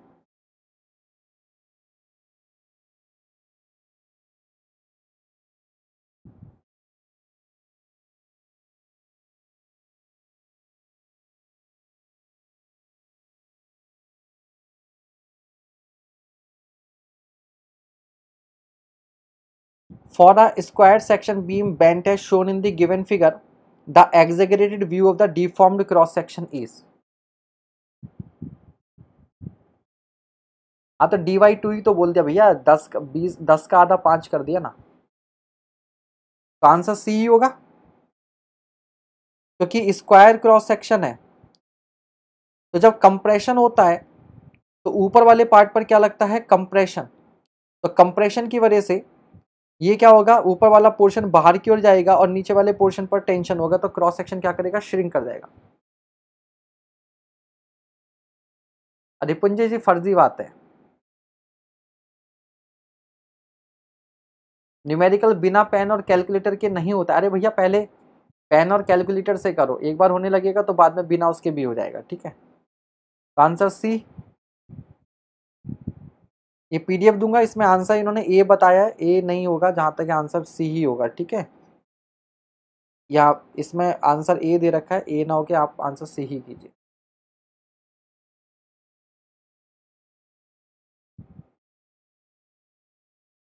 अगला question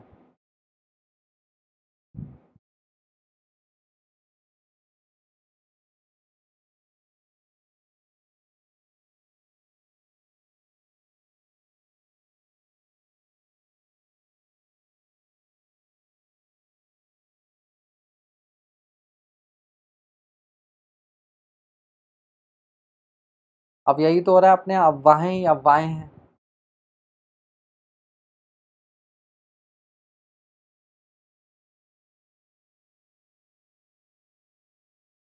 consider the following statements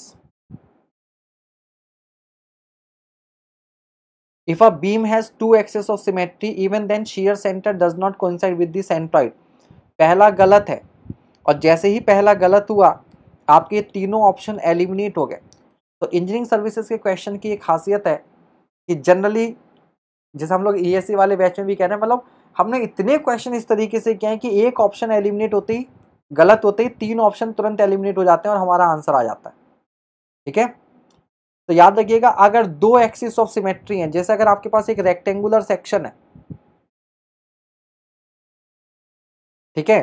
तो अगर लोड तो इसका जो शेयर सेंटर होगा तो वो इसके सेंट्रॉइड से क्या करेगा? सेंट्रॉइड से क्या करेगा? कोइंसाइड करेगा। ठीक है? फिर कह रहा है for a section having one axis of symmetry the shear centre does not coincide with the centroid but lies on the axis of symmetry ये बिल्कुल सही बात है, जैसे चैनल सेक्शन तो चैनल सेक्शन में क्या होता है? चैनल सेक्शन में क्या होगा आपके पास? कि सीयर सेंटर इसके सीजी से कोइंसाइड तो नहीं करेगा बट एक्सिस ऑफ़ सिमेट्री पर होगा, यहाँ पर होता है। ठीक है, यहाँ पर होता है। If a load passes through the shear centre then there will be only bending of the cross section no twisting ये भी बिल्कुल सही बात है। अरे बालक, काहे परेशान हो रहे हो उस क्वेश्चन में? एक बात सोचो। जब हम किसी चीज़ को कंप्रेस करते हैं, इसका अपर पार्ट क्या है? कंप्रेशन में। जब अपर पार्ट कंप्रेशन में होगा तो किसी चीज़ को जब हम लोग कंप्रेस करते हैं, जैसे एक ये बॉल है, इस बॉल को जब मैं इस डायरेक्शन से कंप्रेस करूँगा तो क्या होगा, ये इस तरीके से जाएगी नहीं जाएगी, साइडों में बढ़ेगी। तो ये क्या है, ऊपर वाली डायमेंशन बढ़ जाएँगी ऐसे। और जब हम किसी को खींचते हैं तो उसका क्रॉस सेक्शन क्या हो जाता है, कम हो जाता है।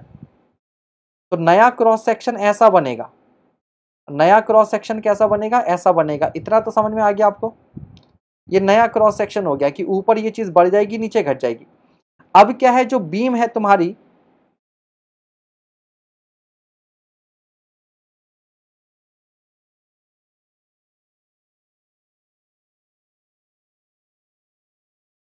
ये बीम है। तो जब यहाँ पर लोड लग रहा होगा तो इस लोड के इफ़ेक्ट की वजह से ये हल्की सी कॉन्केविटी आएगी इस तरह से। तो ये थोड़ा सा कॉन्केव कर दो इस तरह से, हो गया। ये थोड़ा सा कॉन्केव कर दो। समझ गए? ये आ गया। अभी क्लियर हो गया?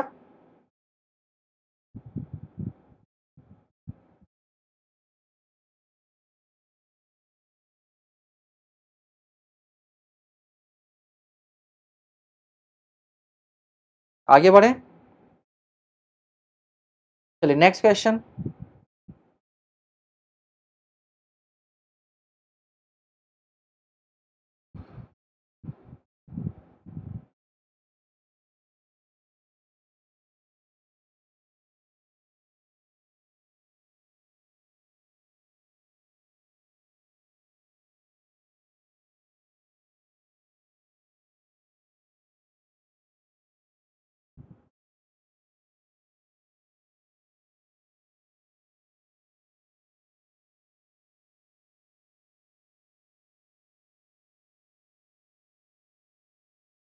बैच कहाँ से परचेज करना है? बैच कर लेने के लिए आप इस नंबर पर कांटेक्ट कीजिएगा seven four zero double nine seven zero seven five eight seven four zero double nine seven zero seven five eight पर कांटेक्ट कर सकते हैं, ठीक है? Given that M is equals to E S upon E T modular ratio दे रखा है। I T moment of inertia of timber and I S moment of inertia of steel portion the equivalent moment of inertia of a flitched beam made of steel and timber ठीक है? Made of steel and timber ठीक है? तो जब हमारे पास कोई beam होती है, ऐसे कुछ भी रेंडमली बीम बना ले रहे हैं, मान लो कि इसमें ये स्टील है और ये टिम्बर है तो हम लोग क्या करते हैं? ट्रांसफॉर्म सेक्शन बनाते हैं। ट्रांसफॉर्म सेक्शन में हम दो तरीके से बना सकते हैं कि या तो स्टील को टिम्बर की फॉर्म में कन्वर्ट कर दो, इस पूरे को टिम्बर में बना डालो, या नहीं तो क्या करो, इस पूरे को ही, इस पूरे को स्टील में बना डालो। इस तरीके तो हम केवल क्या करते हैं विर्थ को ट्रांसफॉर्म करते हैं विर्थ को कम ज़्यादा करते हैं। ठीक है?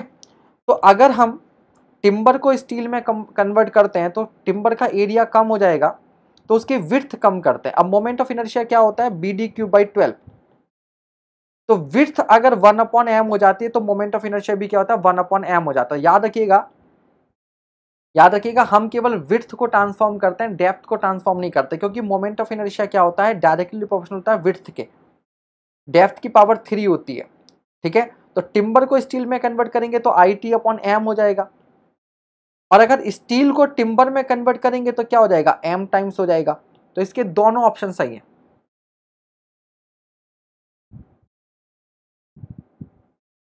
ठीक है, इसके दोनों ऑप्शन सही हैं। आप स्टील को टिम्बर में ट्रांसफॉर्म कर दो या टिम्बर को स्टील में कर दो।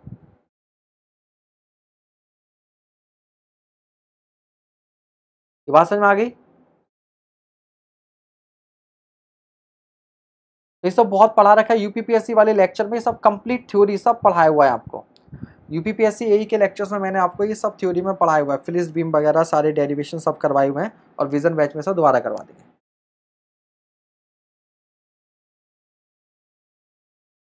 धन्यवाद विमलेश जी।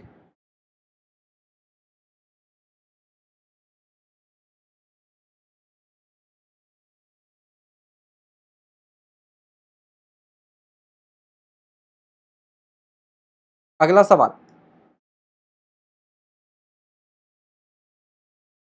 The ratio of moment carrying capacity of a circular beam of diameter D and square beam of size D is ठीक है? तो मोमेंट क्या होता है? आपके पास सिग्मा इंटू जेड होता है। तो हमें किसको कंपेयर करना है? सर्कुलर को स्क्वायर से कंपेयर करना है। तो M circular upon M square करेंगे तो क्या हो जाएगा? Z circular upon Z square हो जाएगा। ये क्या होता था? Pi by thirty two D cube है ना? और ये क्या हो जाता था B D square by six यानी कि डी क्यूब अपॉन सिक्स तो three pi by sixteen answer क्या हो जाएगा? डी हो जाएगा आपका। आंसर क्या हो जाएगा? डी हो जाएगा।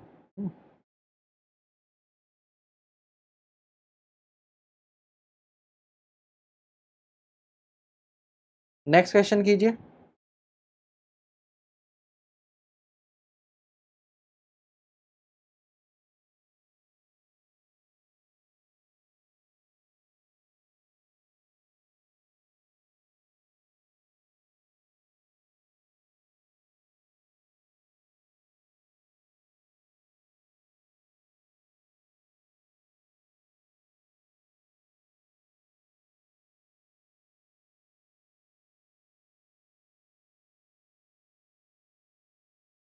In a thin walled T section the S centre C is located at the point shown कहाँ?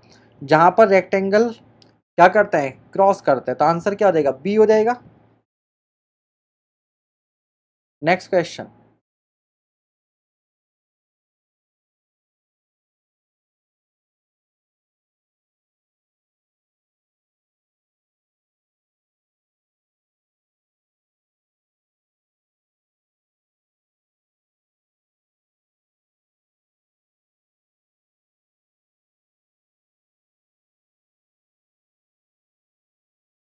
A beam has a triangular cross section having base B and altitude h if a section of the beam is subjected to a shear force f the shear stress at the level of neutral axis in the cross section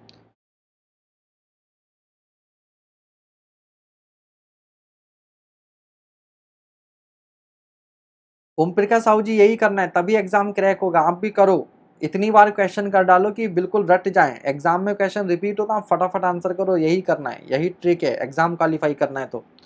खाली intelligent होने से काम नहीं चलेगा। खाली concept clear होने से काम नहीं चलेगा एग्ज़ाम में। आजकल जितना कॉम्पिटिशन है प्रीवियस ईयर क्वेश्चन को इतनी बार कर डालिए, इतनी बार कर डालिए कि बस क्वेश्चन देखो ऑप्शन पर टिक लगाओ। सोचने समझने का चक्कर ही नहीं। अच्छा सी और डी सेम ऑप्शन आ गया, दो बार आ गया। सी और डी दो बार आ गया। सी आई डी हो गया ये तो फिर। ठीक है तो सी और डी कुछ भी लगा दो।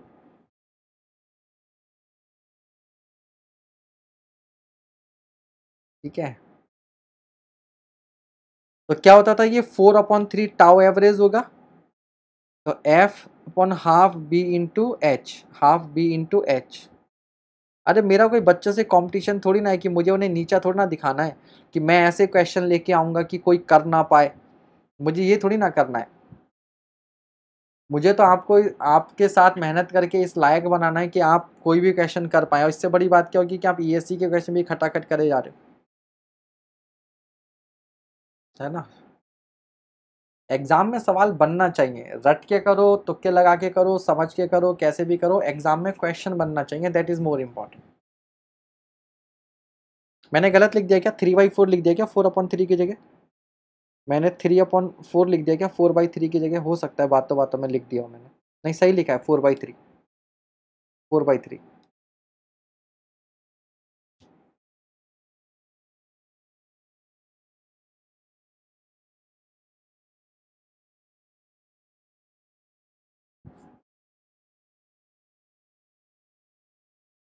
अगला question a solid shaft of circular cross section is subjected to a torque T which produces a maximum shear stress fs in the shaft. The diameter of the shaft should be.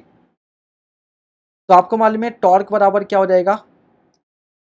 Polar section modulus into tau shear stress shear stress को हम क्या लिख देंगे? F S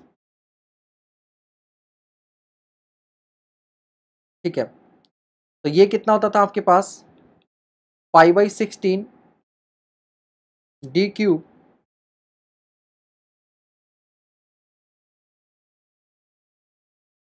और into F S यहाँ से निकाल लो भैया। तो sixteen T upon pi F S की पावर वन बाई थ्री ठीक है? तो आंसर क्या हो जाएगा? डी हो जाएगा।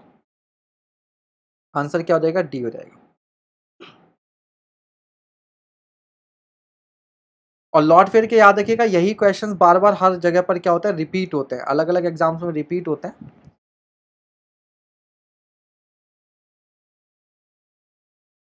सर आज क्यू आर पी का पहला मैराथन हो जाए बारह बजे तक। भैया विजन बैच भी है। चलिए तो हम देखिए कॉलम तक पहुँच गए कंप्लीट सोम हो गया आपका।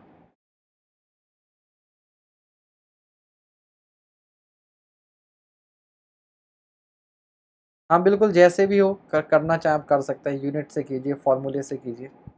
जो पहले दिमाग में स्ट्राइक करे उससे करना चाहिए। पहले जो दिमाग में स्ट्राइक कर जाए।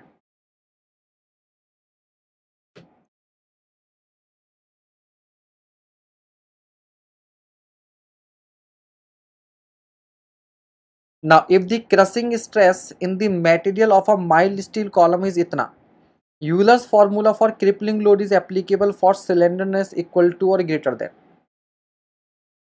Spring का एक क्वेश्चन है वो भी करवा दूँगा अभी चिंता मत करो स्प्रिंग का एक क्वेश्चन है इसके बाद में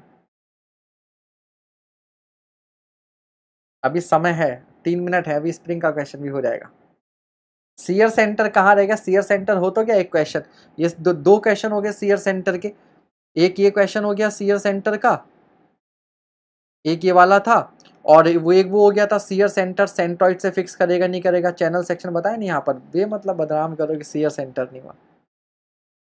सीयर सेंटर भी करवाया कल होगा आपका स्ट्रक्चर नेहा जी, एक नहीं, दो क्वेश्चन हुए हैं, दो क्वेश्चन मिली भगत नहीं चलेगी। दो क्वेश्चन हुए थिन एंड थिक सिलेंडर कह लो। वो अगली बार करवा देंगे। हाँ ये कह लो थिन एंड थिक सिलेंडर अरे मतलब मेन तो कॉलम तक आ गए ना यार, वो सब तो माइनर टॉपिक्स हैं। प्रेशर वेसल सिविल वालों का थोड़ी ना है। प्रेशर वेसल तो सही बताऊँ मैकेनिकल वालों का है। चलो, उसको अगली बार कर लेंगे। मैं क्वेश्चन तो लाया हूँ, समय अलाउ नहीं कर रहा। क्वेश्चन तो है टाइम अलाउ नहीं कर रहा। चलिए। तो यूलर लोड क्या होता था? Pi square E A upon lambda square इस ए को उठा के यहाँ अपॉन में ले जाओ। आप मत ले जाना ऐसे अपॉन में। ठीक है तो ये स्ट्रेस बन जाएगा। ना this stress should be less than is equals to नहीं, ये तो स्ट्रेंथ है ना? ये तो स्ट्रेंथ है।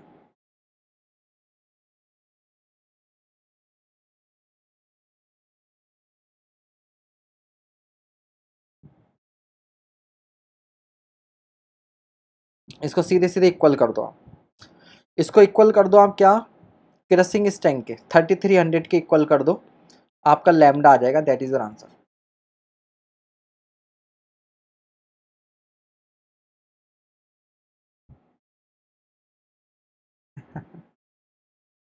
चलिए। तो आप एक स्प्रिंग के क्वेश्चन की बात कर रहे थे, लो एक स्प्रिंग का क्वेश्चन और कर लो।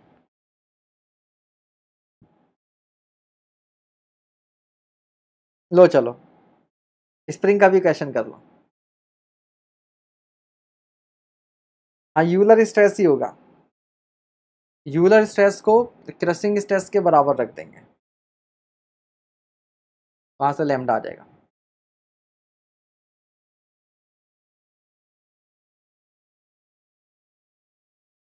If two springs of stiffness K one and K two are connected in series the stiffness of the combined spring will be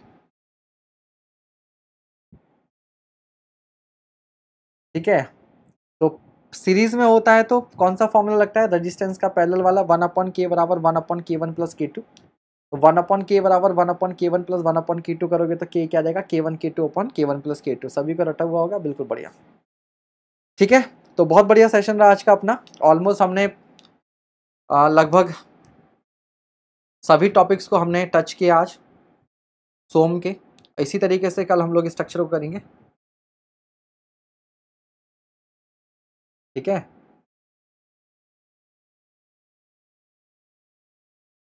Dilip, कोई बात नहीं, तुम भी टॉपर से कम नहीं हो यार। ठीक है? आज सोम बहुत इजी लगी। सही है, चलो सारे सब्जेक्ट आपके ऐसे इजी लगे। एग्ज़ाम में भी बैठ के इजी लगे तो उससे तो अच्छा कुछ हो ही नहीं सकता, ठीक है? चलिए थैंक यू आज टोटल ट्वेंटी वन क्वेश्चन ही सही हुआ, सौरभ दत्ता। कोई बात नहीं, आगे और बढ़ेगा। कृष पंडित बड़े टाइम बाद आयो बालक तुम भी। कहाँ भटक रहे हो? आज के सारे सवाल सही हो गए, बहुत बढ़िया। सर, एक डाउट था डॉक्टर आपने, बेटा, वो योगिता जी, वो व्हाट्सएप किया था, मुझे मैं अभी पढ़ नहीं पाया, बता दूँगा, ठीक है, चिंता मत करो। सब अपने अपने में टॉपर हैं, ये भी सही है। अपने घर के टॉप पे जाके बैठ जाओ, सारे टॉपर हो जाओगे, ठीक है। घर के टॉप फ्लोर पे जाके बैठ जाओ, सब टॉपर हो जाओगे। शैलेंद्र कह रहे हैं, मेरे भी ऑल करेक्ट हैं, बहुत बढ़िया। चलिए, धन्यवाद thank you good night everyone ठीक ठीक ठीक ठीक। सर वाटर शेड और साइड्स बेटा वो इरिगेशन में किया तो था वो देखो अभी अभी आपको किया था, रिपुंजय, अभी कौन सा इरिगेशन की मैं उसमें क्या यार क्यूआरपी में? अच्छा बढ़िया। हाँ दिलीप की प्रिपरेशन अच्छी है, बस ये थोड़ा सा सिली मिस्टेक्स को कम करे, ठीक है? तो बाकी कोई वजह नहीं कि सिलेक्शन ना हो, ठीक है? Good night